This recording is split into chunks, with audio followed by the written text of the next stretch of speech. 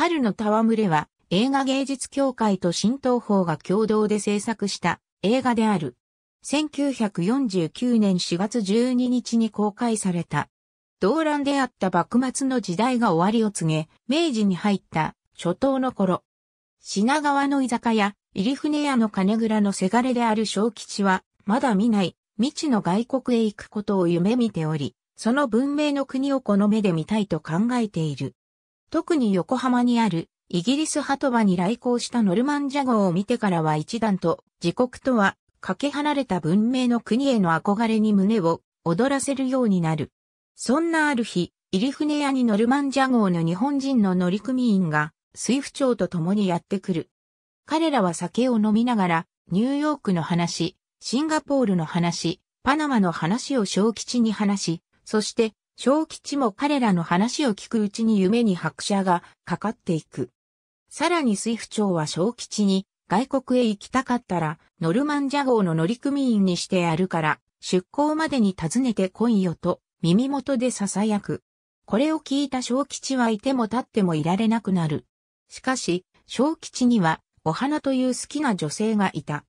お花は19歳の娘盛りで小さい頃からの小吉の遊び相手でもあり、小吉を愛している。また、小吉もお花の気持ちには気づいていたが、それよりも海に行きたいという夢があった。そんな中、町の呉服屋の大旦那徳兵衛は妻を亡くして、寂しい思いをしていたが、お花を見染めていた。お花は受け合わなかったが、ある日、徳兵衛は正式にお花を嫁にもらいに来る。小吉は夢と愛の狭間で揺れるが、ノルマンジャ号執行の前夜、お花は小吉を引き止めたい一心で体を許してしまう。翌朝、小吉はお花を持って夢を諦めようとするが、小吉の苦しむ姿を見たお花は、徳兵衛との結婚をほのめかすことで強引に、小吉を送り出す。小吉は裏切られた思いを抱えて旅立つ。しばらくしてお花の妊娠が発覚する。そこに、徳兵衛が結婚を申し込みに来るが、お花は自分が小吉の子を妊娠していると告げて丁重に断る。しかし徳兵衛はそのことをすべて承知の上で、あえて知らないふりをしてお花を嫁にもらおうとしていたので、ある。徳兵衛の深い愛情に心打たれたお花は、徳兵衛からの求婚を受ける。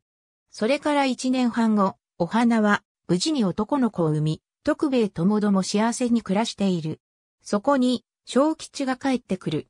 お花が自分の子を産んだと知った小吉は、お花と子供を取り戻そうと、徳兵衛らの前に現れる。